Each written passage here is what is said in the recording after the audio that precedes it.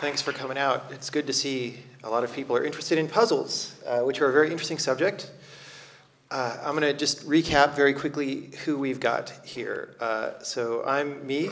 Um, I made a Mario clone uh, about, about Rewind, and my current game is walking around an environment doing mazes.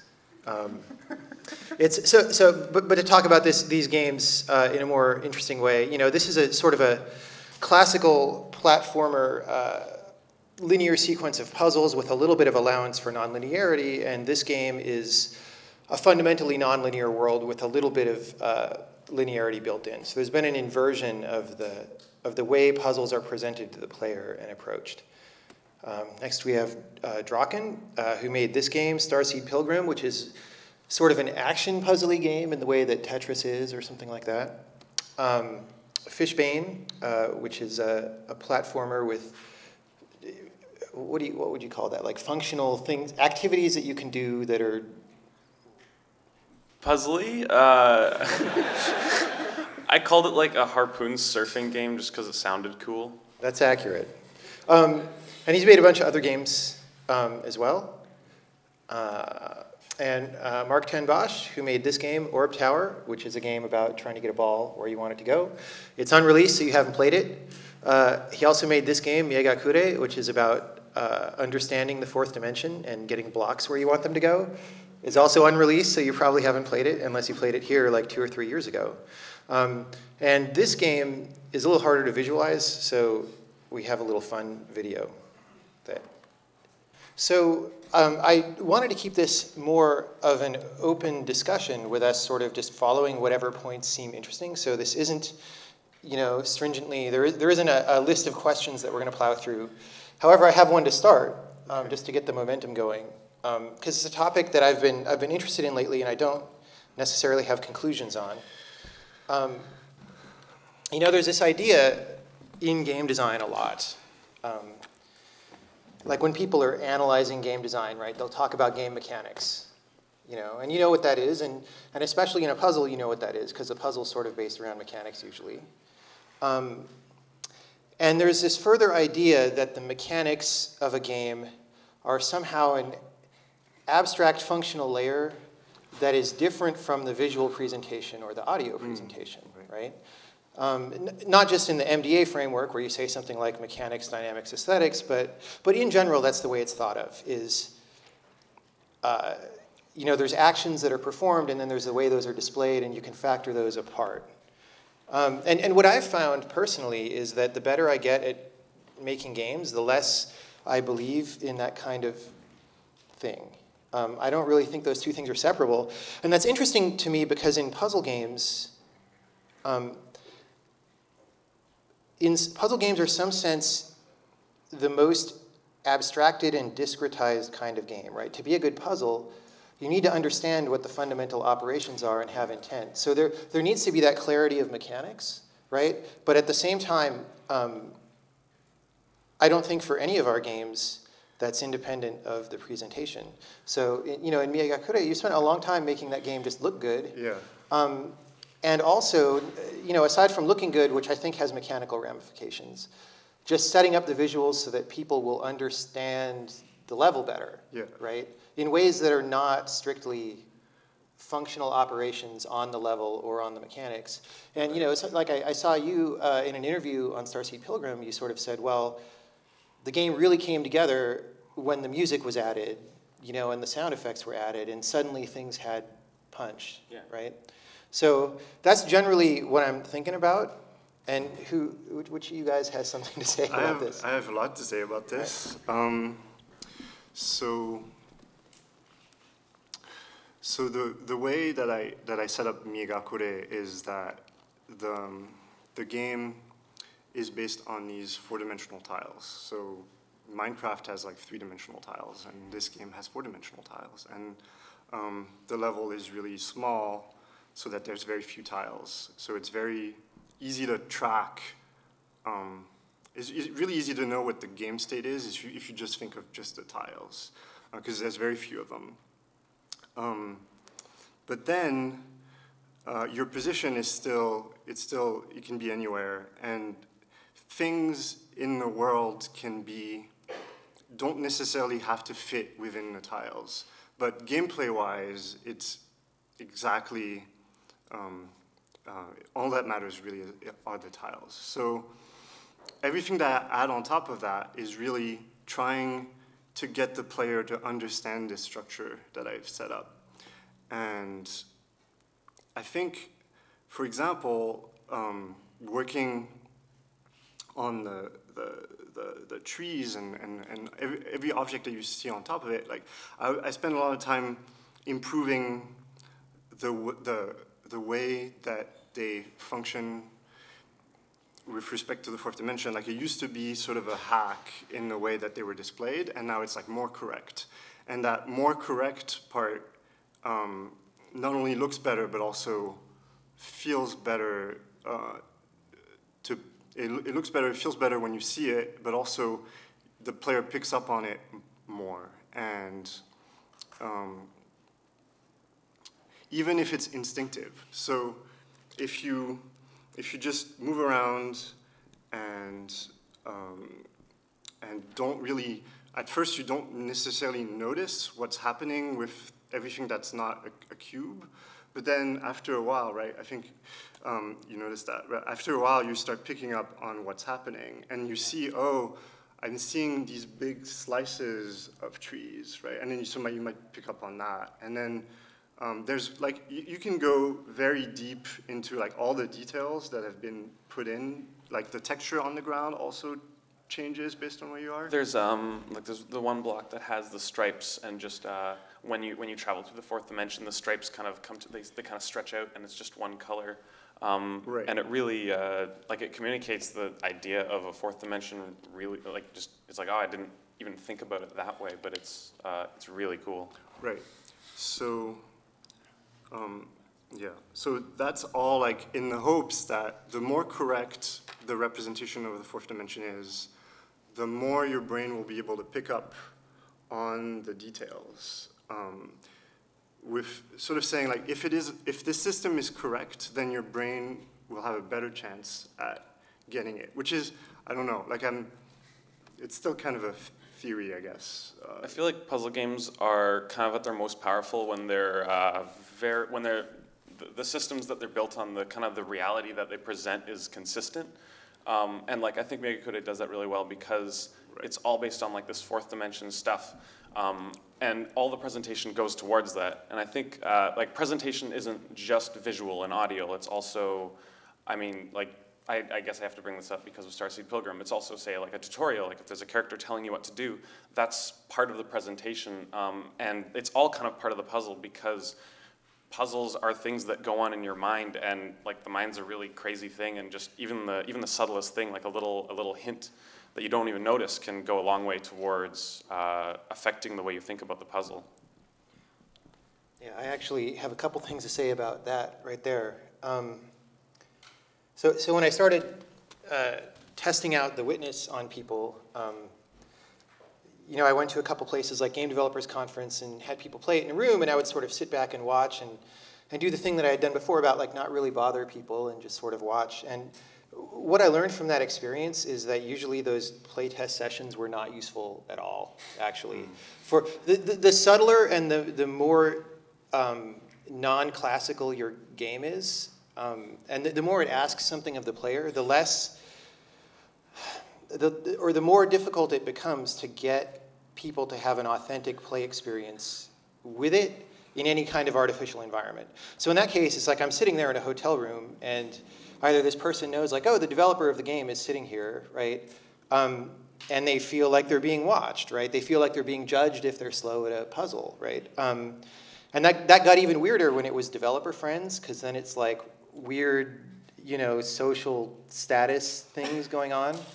Um, so, so later uh, the next year, when I did a, a press tour, so I would travel around to different cities, still with the game in very low level of presentation. So things were made out of blocks and stuff, but it was still supposed to be very clear how to play.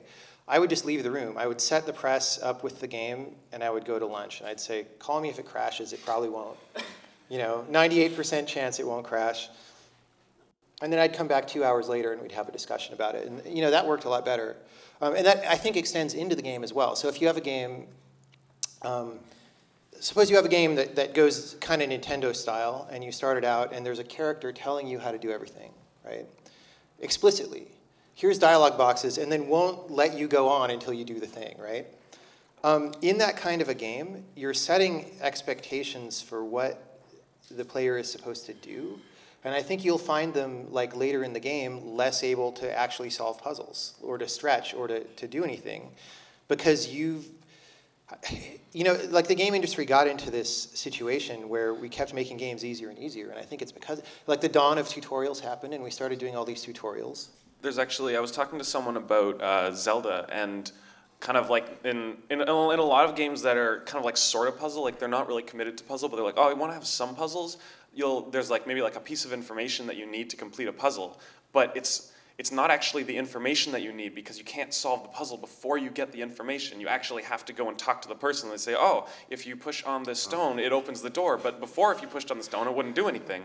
Wow. Um, and like, like, and but like in the first Zelda, I guess, like people, I the only thing I remember is someone said something about like a peninsula. And it's like go to the peninsula, but you could have just gone to the peninsula without them telling you. Um, and I think that's like kind of like a big like that shift is in in the direction of here's like a thing telling you what to do and um, kind of hovering over you. Yeah, yeah. I'm. The, the, you know the way I try to attack that now. I mean, we'll see in the next game because my next game is probably going to be very different. Um, but in, in the witness, we're very careful never to tell you how to do anything. There's like one prompt at the beginning that tells you kind of what the controls are, but you start out and you're in this hallway and it's like, well, you have to take the initiative to go forward and like do a puzzle, and it's very simple, but you are, you are building your own momentum of, of someone who's going into the world and encountering things, and I think that's, um, that's important. So now you have, a, you have an interesting balance in Miegakure because you require people to be proactive, but you have NPCs that sort of tell you things, but they can't tell you that much because they only ever have like a sentence at a time yeah. whatever. Um, a lot of it is teaching, I, I sort of see two things. I see teaching about mechanics that any regular game would have, like push blocks and jump on stuff. Um, so if I need to teach you about pushing blocks, I'm okay with that because it's just really a basic thing. Um, but all the 4D stuff is all nonverbal. Um, so yeah, so that's that's sort of how I split it. But then I so so it makes me think about like how do you how do you do that without actually you know how do you teach things without actually using using words, right? And and Star, Starseed Pilgrim is is like even goes like on the other end, where it's like not even teaching you anything. It's like totally about discovery. Yeah, and but I mean, like even Starseed Pilgrim teaches you like the very basic stuff. Like the, I mean, right. it's it's just the like same digging. as like movement and pushing blocks. Right. It's like if you don't know this, like this isn't the cool stuff I want you to, to struggle with. Because like if you're if you're playing a game and you're struggling with like just the basic stuff and you figure it out, it's not like oh wow now I understand how to push blocks. It's like uh, all right now I can push blocks. Now and then, and then there's like that barrier between kind of starting and getting into like what the game is really exploring, which is the four dimensions. Right, right. Well, in, in Starseed Pilgrim, definitely there's there's nonverbal communication that's that you can't even follow up on yet, right? Like, so you start, you're you're in the the once you get into the actual world, right? There's like some heart blocks there, and you know before, you know they were sort of in a ramp that went up, and now now they're sort of in a ramp that leads in a direction, but there's no way to eat them all, yeah. you know, because you can't you can't get to the top one until you actually build something, which requires you to have gone into the other world, right? So there's a there's a mixture of this is telling you something, right? That that blocks are relevant in this outer world, right? Sorry if anyone hasn't played this game, we're spoiling it. Or um, more likely, they just have no idea like heart blocks. Yeah, what are these guys talking about? This is a challenge that we have is keeping things, I don't know, interesting, but. I've I have to mention, um, because we're talking about uh, the presentation of puzzles, um, there's a game called La Mulana, and I, I, have been thinking about, like, I liked it for a long time, and then I actually thought about the puzzles, and the puzzles aren't good at all. Um, they're they're really dumb. It's it's all just based on like oh you've got like the right item and use it in the right place, or uh, like you just like press down and this turns out you go into this pot like a like a Mario pipe.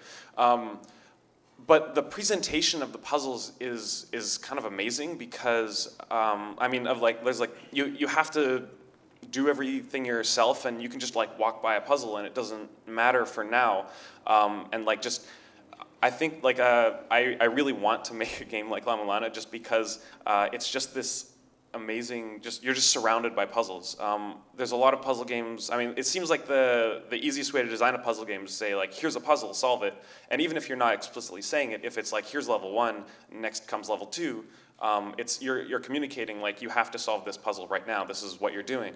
Um, and i mean i'd really like to see more games where the puzzles are less clear, like uh, like not not the solutions, but that they're even there. Um, and the the I mean the rewards for La Mulana, it's kind of uh, like a Metroidvania a little bit, but the the rewards for puzzles are all these like weird stuff. Like uh, there's a bunch of puzzles that you get like more health from, and there's puzzles that give you access to entire new areas, and uh, I don't know. Like I, I guess I like mystery in puzzles. Um, like outside of the kind of, like contrived like here's your here's your box that's where the puzzle is. I like it to be like I, would like to see more puzzles that are like that.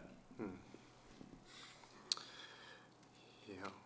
I don't know if Miegakure has that actually. Um, well you, you have a special challenge right? Because your basic mechanic is very hard to visualize so you have to go an extra mile in leading people into it that a lot of games wouldn't have to right? Yeah. Um, and this isn't, I mean, I'm not trying to, to non-legitimize puzzle games that just say, here's a puzzle, like that's, like that's still a thing. Like I, I'm still really interested in like, you know, uh, like learning about how something works and then using that knowledge well, to solve things. Yeah, do, we, do we want to pop up the slides and talk about your dependency chain uh, I don't even know connects to what we're saying. I'll, I'll, All right. I'll, I'll decide. It it's cool. Um, but yeah, I guess I have optional things that you don't know exist, I guess, yeah. But, and Braid had that too, right? Like optional stars that you don't even know exist unless you. Yeah, I mean, those are the obvious optional things in Braid, right? Right. Braid has, Yeah. this is, this is where I want to say something interesting, but I don't want it to be quoted afterward, so. If you're in the, if you're in the press, turn your brain off. Um, so there's, a- there's actually multiple levels of optional puzzles in Braid, right? Yeah. And the stars is sort of one of them. Right.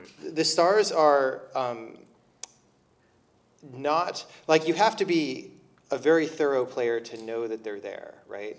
But once they're there, it's a very classical deliberate challenge. It's like a hard challenge. It's harder than the main puzzles in the game, usually. And it's a, it's a puzzle solving with a tangible reward, right? You get this star and there's, Right. you know when you've got all of them and all that. Um, there's other stuff in the game that are puzzles that don't really give you an acknowledgement. That, like it's a softer, um, it's a softer reward state or something, but they're there. Like if you're a if you're a player who's really interested in the game, you know, there's there's not that many, but there's probably um, five or six puzzles that are like that. Hmm. Um, and and they're harder to see. I mean, they're easier to see because they're right there. You don't have to like bounce off the level or something to get to them, but they're they're harder to see because if you if you're gonna if you're the type of person who's just gonna go until something stops you, which is often what happens in those platformers, you'll just go right past them, right? So uh, I'm actually, um, I don't know, I'm interested in that idea, right? In Right. in in the idea that more, uh, I I don't know how to say this in a less snooty sounding way, but but like the the idea that you should always get a reward for something good you did is kind of for kids, right? Um, unfortunately, that's what we base most of modern game design on. But but really, there's this idea that a mature player, the appreciation of the situation, better than like oh you got a star, right? Um, it's nice if the game acknowledges, at least to remove any ambiguity, like, oh, this is, yeah, this is what we were going for, right? But the idea that there has to be a reward of some kind is, um, is unfortunate. And it's a little bit, um, like when you design that way, uh, it's a little bit lowbrow, I guess. I don't know. Um, I mean, I guess it's kind of, this is like, it's kind of, we're kind of going off topic, but I mean, most of the time when you solve a puzzle, it does a reward. We're talking about rewards, whatever. Um, like, I'm not sure if uh, like a star as a reward is like any, like, I mean, if the reward is going to be a star or nothing, I definitely take nothing. Like, like, and I agree with you there, but, um, rewards for solving something, they have like a lot of power to, to feed into the rest of the game um, in, in, a, in a meaningful way. Oh, you mean like in a Metroid kind of way or something? Yeah, a little bit like that. Um, and it, it doesn't, I mean, this is just La Mulana again, sorry.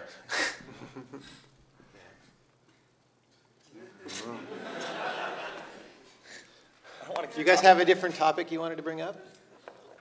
Uh, I have a bunch of topics. All right. What's the dependency chains? Um, I was talking about how. Let's just do it. Yeah, let's do it. Let's fire it up.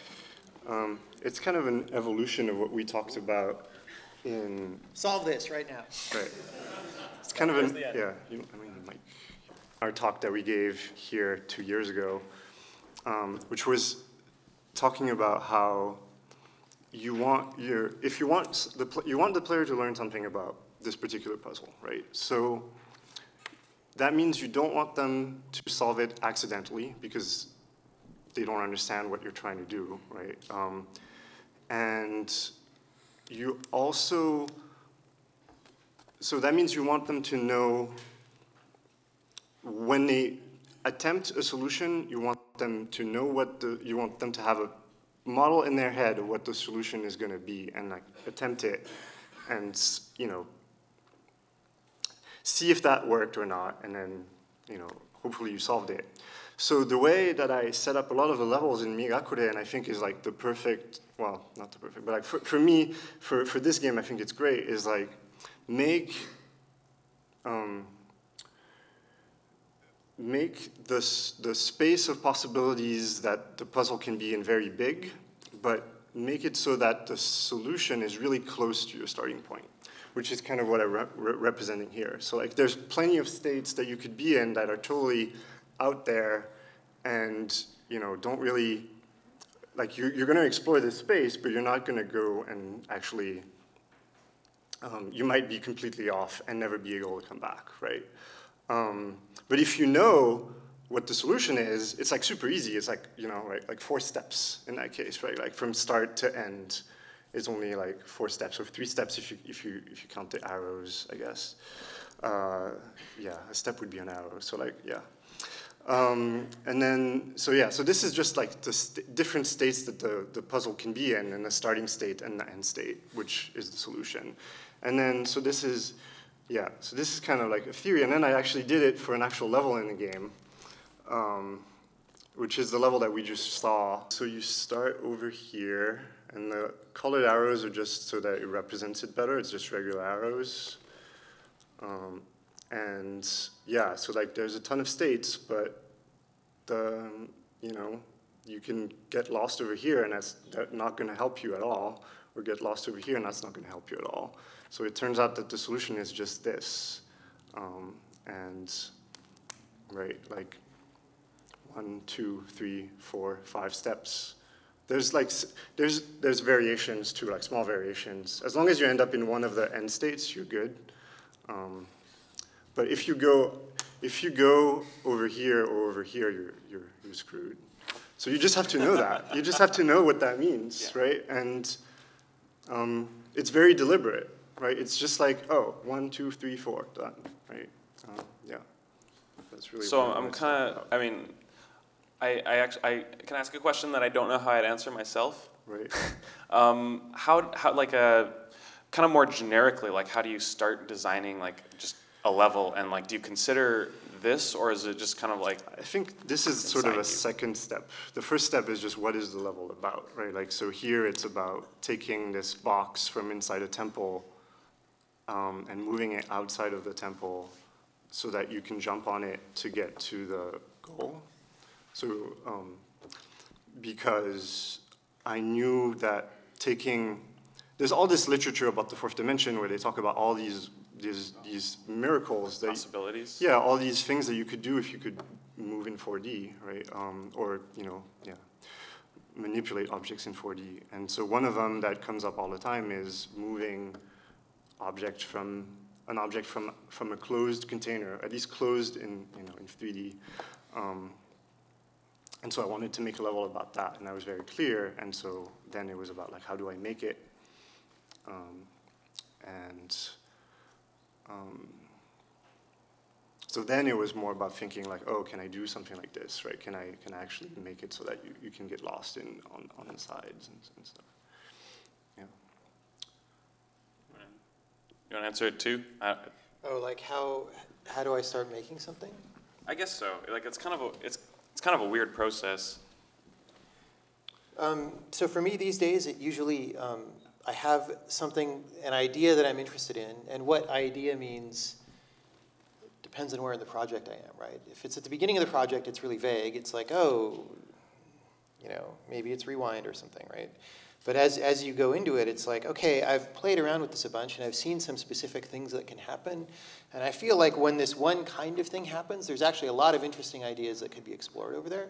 And so I just kind of start playing with it and seeing what happens. Um, the witness is a little bit different. Like playing with it in the witness was a lot of the time just designing puzzles on graph paper instead of in code because I could do that and it's faster. Um, and then just like looking at, be like staring at this graph paper, you know, solving this puzzle in all the different ways in my head to see what would happen. Um, but yeah, for me, there's, there's always a question, and the designing of the level is an attempt to answer the question or to get more information about the question. Um, Just like just like a like a like a what if like with the mechanics of my game like what if what if I did this? I mean like I guess I'm talking about myself now but like I know that I, when I'm making like a puzzle game it's kind of like I'm just sort of like playing with what I've come up with. I'm just like oh this is kind of fun to play around with. I wonder if I can make like things that are actually difficult to do with it and then Well, that's actually the structure of both Braid and Miegakure, actually, is you go into different realms that have different, different pages of what-if questions, right? So like, what if you were across the fourth dimension all the time also? Or what if some objects can't be rewound, right? And then there's a whole world full of things that explore that. Yeah, yeah. I think a lot of it from yeah, like what you were saying. For me, it was just like I'm programming this mechanic um, about blocks that can be longer than you know that can not just be one by one, but they can be more than that, like two by one or whatever. And then um, I'm just I have to debug it, so I'm placing lots of objects in there, and I'm seeing like, does this work? And then I realize, oh wow, you can do that. Like, oh, you can float over there, or like this block is just floating in midair for no reason. And then um, that's a lot of the levels were just made that way. It's just There's an interesting parallel there. yeah, Between what I was saying earlier, like somehow the ideal puzzle game player, at least of one of the games that I want to make, is is is going to try and go a little bit beyond the basics that people might expect, and like be inventive and, and bring something to it, right? And I think I think there's different kinds of designers when when they sit down and design a game, right? Some people are just like, look, I'm making a game where you throw rocks at enemies, and once they've typed that in, like they've got their game sort of, right? And you, and you try to make interesting levels, but there's a different there's a different quality that we're talking about though, which is which is I've I've left no stone that I'm going to throw at enemies unturned, right? In the way that I throw it and and at whom I throw it. And that that generates most of the magic most of the time, right? It's like for for uh, both Braid and The Witness, for me, most of the best moments of the game I didn't picture when I sat down to start making it. It's like they came in this process. yeah. It'd be interesting to to know about you know that for your game. like just like coming across things I didn't really expect Yeah, or just like for example, like you did you come up with the mechanics beforehand and then explored what would happen, or was it like I'm I'm sure it was like there's some a Um, few so I mean, at least in there. With Starseed Pilgrim was really weird. Like I don't even really know how it happened. Um, it was also a long time ago, but like I just sort of I, I had the idea of like planting seeds and they grow into shit. Um, I can say shit, right? Yeah. You already did. Twice. Um, and it wasn't very fun because I just had these this one seed and it just grew into stuff because I thought it was a good idea to make it actually grow into plants. Um, and then it kind of got abstract, and I just I just designed them all out on a piece of paper, and I was just like, I guess this is kind of like a cool set of blocks, and I just coded them all, and they turned out to be, to work. Oh, so Um, like first. But then, and then like, uh, I mean, there's stuff that happens later on that some of you know what I'm talking about, and that was just like, I, what would happen if this rule was applied? And um, it turned out that a bunch of them were just really weird, uh, kind of reinterpretations of what you've been learning the whole time. Which is actually really similar to what's going on in Braid and Miegakure, actually. Um, it's a little different in Starseed Pilgrim. It's a little bit less structured, Yeah. um, but it's the same kind of thing. Yeah. And I mean, uh, a lot of the things that I've made, like uh, I made a game called Fishbane, where you're just this little guy and you you throw a harpoon, um, and you can you can jump on top of it and you you fly along. Um, but that wasn't really the original intent. I just I just wanted to make like a I, I had I thought maybe like when the harpoon sticks into a wall, you can climb onto it, and that would be cool puzzles. Um, but I mostly just wanted to have like a guy like having holding a harpoon and like being able to run with it. And so I just made it so you, you threw a particle um, which was the harpoon, and if you were holding move at the same time, it just kind of looked like this little guy holding a harpoon running with it. Um, and then it was just kind of like, what if, like, cause, because you're running along with it and I was jumping, I'm like, what if you could just land on it? And I just played around on this test level for like an hour, flying around everywhere, and it was awesome, and then I made a game out of it. It's not in question. There's, the, I mean, like, are point and click adventures puzzle games? Like, if it's just like, like, I, Yes and no, right? I, so, so the interesting thing about point and click adventures is they, they run a continuum from having all the classic problems of adventure games, which is that, yeah, you're pointing and clicking, but every place that you could click is like a different if statement in a piece of code, and you, you can't Oh, yeah. have any intention as the If player, statements. you know, because it's, it's just like, I clicked on this one pixel, and then the vampire came and bit me, and then I lived for a thousand years and flew a spaceship to another planet, and now I'm in the next scene. It's like, that's what adventure games were like a lot of the time. Um, but sometimes, uh, sometimes they get more systemic. And it, systemic is not even the right thing, um, because I don't think it has to be a system. But you do want the ability for the player to kind of know what the game's about and to be able to make a plan that sounds like a plausible thing that might solve a puzzle before actually Right. doing it, right? Right, like the system might be faking it, but it's still pretending to be about something, and then you're, in your head, you have a mental model of that system, and that's what, when you formulate a plan, that's what you're using. So if there's like, for example, if it's something about water running um, and turning a crank or something, like the Yeah. water might not be simulated properly, but you, you, you in your head can think about yeah. that. Well, actually, in the days before point and click adventures, Infocom actually got some shred of this idea and started doing a pretty good job of it sometimes. So, like um, the Spellbreaker series, uh, for anyone who's old enough to have played those, um, you learn a series of spells, and the spells are just little verbs that you can type in, but they work consistently, and they're implemented with if statements. But it's like, look, if uh, if you have this unlock spell, you can use it on anything that's locked, right? And another one that's systemy in a slightly different way is called Nord and Bert couldn't make heads or tails of it, which is like a um, it's a word game game, and you actually have tools that operate on words. So like there's this one thing in it called the T remover where you apply it to any object and it takes the letter T out of the name of the object. And usually that gives you garbage, but sometimes it turns one useful object into another useful object. Right. And so, so that idea even existed back in the 80s, right? Right. And that, that's pretty cool. And it's, it's too bad we went through a dark age when people forgot it.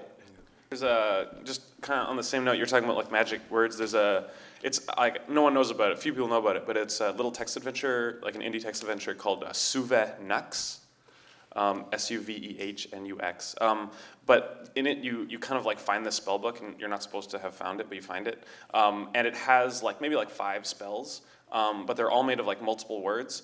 And the words actually sort of form like a little language, and you can just start combining them in different ways to what the spell book taught you. Um, and I mean, that's kind of like just like if statements too, like uh, if you make something sticky, what does that mean? Like that's one of the spells. Um, and I think, like, I mean, that's really cool, and it's all if statements, and it kind of becomes more systemic. So then are systems always necessarily better than s- still, or like is, are if statements. Like, Well, the thing about a system is you're kind of, you get a, a better level of consistency for free. Yeah, And you for also sure, yeah. potentially get depth for free. well, I, you also get surprise, right? Well, you get surprise. Yeah. And that's 'cause- like that's like what people like to call emergence, right? Like when, when Right, you make a system and it's like, oh, surprise, now it's Well, really cool. so emergence is, there's two kinds of surprise, and they're related, right? So one is surprise to the player as Yeah, they're playing, yeah, yeah. right? And that's like Spelunky kind of surprise or something. And actually, both of them always happen, because as soon as you start making surprise for the player, you're going to get surprise for the designer, too, probably. Um, Not always. Not if it's just something that like you make like pop out at the player. But like if it's Yeah. like emergence. Well, yeah, a Monster Closet, though, is Yeah, not the kind of yeah, surprise. We're talking about emergent kind of surprise. Not like twist ending surprise. Yeah. um, so, and that's what's interesting to me as a designer is the surprise to the developer, which can then turn into surprise for the player. Hopefully, does usually. But for me, that's always a good sign that I've progressed as a game designer in my understanding of the craft and of using games as a lens to view the world. Is, is when I got some new surprise by asking some of these questions, right? And so you don't get that with if statements but you do maybe get a kind of a playable game with if statements. So I don't, you know, I don't want to go into some kind of. I'm, I've definitely subscribed to the systems religion, but I don't. I don't want to be here to preach the systems religion because um, there's other ways of, of doing things that are interesting as well. Just be careful. Yeah. yeah. Um, yeah, it makes me think about how when I when I design a, a when I designed when I started designing that game, it was it was about exploring the fourth dimension. Like I didn't know anything about the fourth dimension almost. Well, I knew the math because I, you know, took linear algebra or whatever. But um, um, and so it, just yet this exploration was very important and. I'm not interested in playing a puzzle game that's been designed by a human in the sense of like, oh, I've made these puzzles, they're fun, play them, right? Um, I, I care about like these very interesting topics that are very, um, you know, complicated. And so um, it, it goes towards like the, the authorship thing, right? Like when I, when I design a puzzle, like it's about trying to be as simple as possible, but it's about a thing that's 4D. Like it's not about, you know, jump over here, jump over there, or whatever. And so it's, it sort of feels like I'm not the author of the puzzle. It's just, uh, yeah. You're just kind of like this would be like maybe this is a cool thing, and then and then you try it, and it turns out it's cool, and then you make it a level, and then the player's like, oh yeah, that is cool. I agree. Right. Yeah. but yeah. So that that makes it harder to like. How can you do that with, without a system? Like how? Yeah. Um, I, I was trying. I was thinking about making a game once uh, that kind of you. I mean, I've made a, I've made a couple of games once that use kind of like a little like arbitrary language, and it was just like, oh, you know, these numbers mean these things, um, or like you, you, it's like a, it was like a, there was like a hacking game, and you type like little words, um, and you eventually kind of like learned how to use those words to to complete the game. Um, and then I was like, I should probably be using like real things, like like because four dimensionality, even though it's not a real thing that we, we deal with in real life. It's um, like it's it's it's something that's like is like an extension of reality. It's something that you consider and like learn about reality from.